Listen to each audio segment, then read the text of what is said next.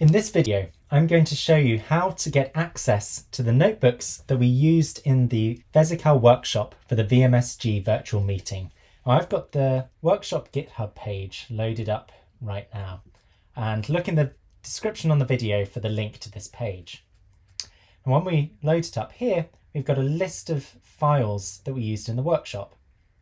Now you can click on these and take a look at them um, it'll take a minute to load and you can see exactly what we would have seen during the workshop um, in Jupyter Lab. But you click in these cells, you can't do anything with them.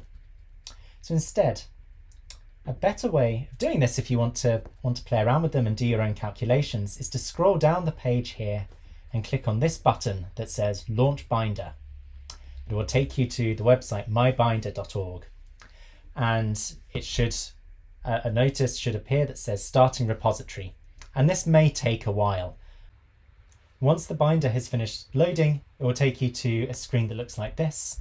Um, a, a warning comes up you can dismiss this and then press close this screen. And then you're taken to a screen that looks just like the one we used during the workshop. On the left hand side here you can see all of the files that were on the GitHub page and the notebooks are highlighted with this orange symbol. And so we can open one up. Let's go into the volatile solubility notebook and it appears just here. And we can interact with the cells now. So if we wanted to, we could go in and change some of the markdown text in here. And when we've finished editing that, we can either press, press this button just here, or we can press shift and enter together on the keyboard.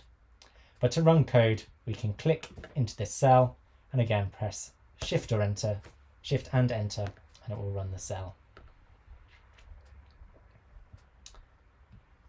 And it takes a little while to import the packages.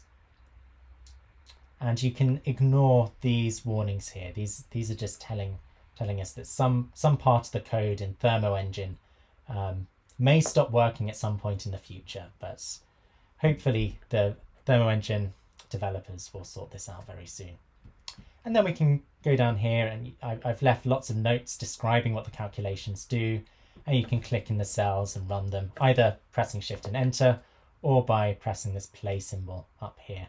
And you can tell when it's running because a little star appears in this grey box just here. So I'll press this one and you can see it. This one takes a little bit longer and we get the output down below. Now, we can also download these notebooks uh, to the computer, which you might want to do if you edit this and change any of the properties to suit your own calculations. Um, in Binder, your work won't be saved. As soon as you close the window, it will disappear forever. So you want to make sure you're saving things if you're using VESIcal like this. So you can go over to here, can right click and find download in the list. Press that and it will download the notebook to your machine. And similarly, if you want to upload a file, so maybe you've got an Excel file with all your data in, you can go and click on this button just here and it will upload it. Now, a better way of using VESIcal, especially if you're working on long-term projects, is to use the Enki server. Now this is the Enki website, enki-portal.org. I'll put a link to this in the description to the video. And to get onto the Enki server, you go up to here, Enki servers, go to production server, and it will take you to this page. Now, if you've never used this before, you need to get access to it, and there are some instructions for how to do that just here. In another video, I'll show you how to bring in the workshop notebooks into the Enki server.